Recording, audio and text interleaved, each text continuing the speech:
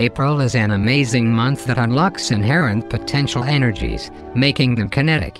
Like the opening of the lotus flower with sunrise, encoded faculties open causing astounding accomplishments. Bloom forth, without hesitation. Many have to achieve great distinctions in their field like actor Charlie Chaplin, magician Houdini, defense person Colin Powell, and scientist Marconi, to name a few.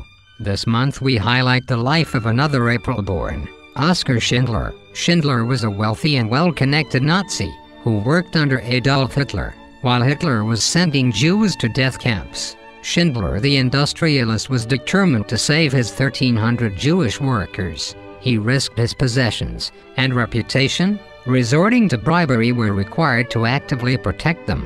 Today more than 7,000 living descendants stand testimony to this heroic act Schindler illustrates how even in the most difficult of circumstances, the human spirit can command vast resources into action to achieve the right thing.